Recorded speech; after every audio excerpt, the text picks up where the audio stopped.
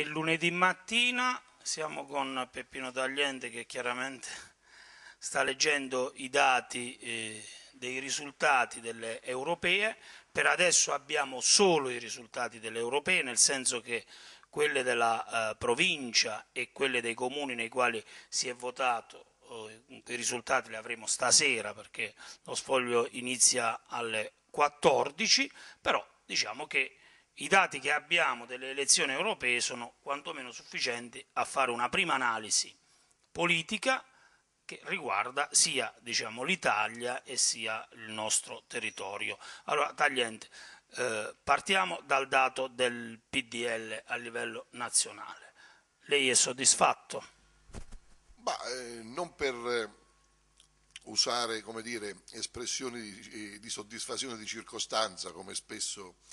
accade all'indomani delle elezioni da parte dei rappresentanti di partito, ma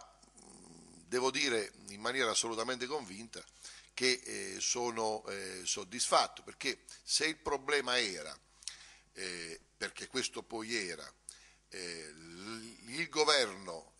ha trovato il gradimento da parte degli elettori, i risultati eh, nello specifico eh, dell'azione di governo sono eh, stati ritenuti positivi o meno, beh, devo dire che la domanda alla luce eh, dei, dei risultati trova una risposta affermativa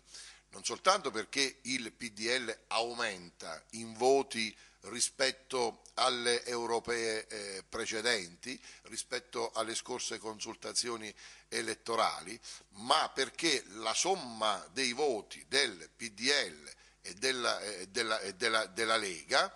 eh,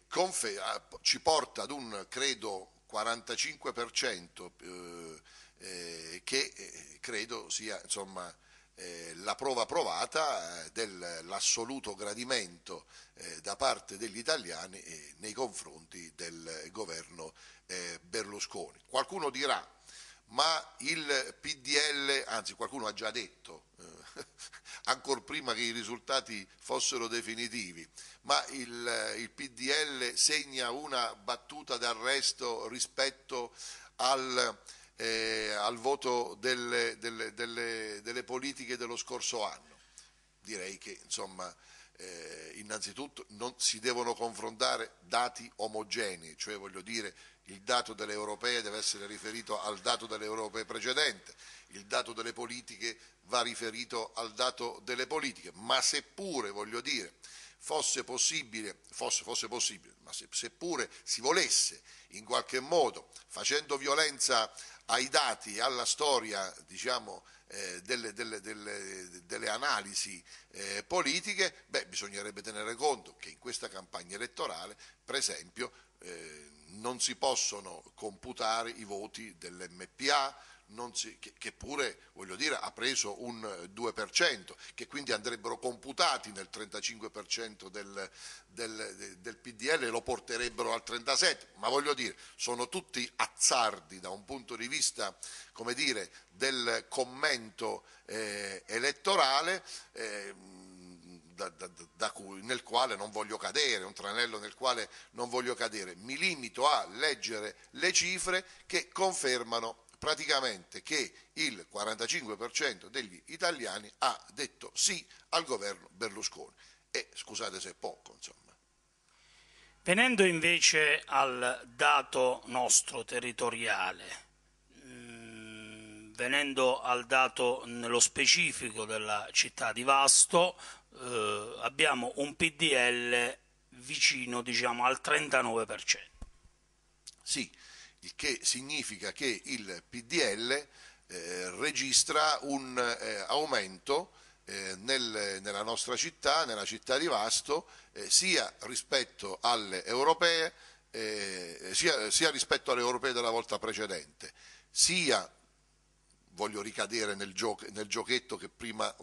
dire, comunque contestavo, eh, eh, sia rispetto alle regionali di qualche mese fa, sia rispetto alle politiche del, dell'anno scorso. E allora, seppure si volessero confrontare questi dati omogenei, non v'è dubbio che il eh, PDL eh, segna un indiscutibile eh, balzo in avanti rispetto ehm, a tutte le volte precedenti, a tutti gli appuntamenti elettorali dell'ultimo periodo, degli ultimi cinque anni a, a questa parte. Eh, il che, voglio dire, è motivo di eh, soddisfazione se poi si confrontano questi risultati con quelli del, del, del PD che eh, cade eh, vertiginosamente anche qui eh, come altrove, anche se, questo va detto, eh, a eh, supportare il, il, il,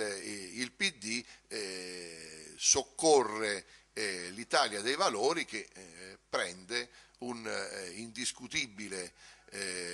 buon risultato eh, che lo conferma come, come dire, ormai lo conferma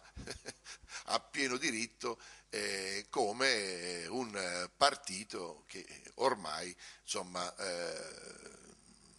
è in piena concorrenza con il PD, lo supporta da una parte ma sur, lo, lo, surclassa dall'altra, un IDV che poi trova soprattutto nel comprensorio del Vastese, riferi, con riferimento anche alle altre zone della, della regione un suo, eh, dire, una sua roccaforte, eh, un suo uh, punto eh, territoriale eh, di, di, di, riferimento forte.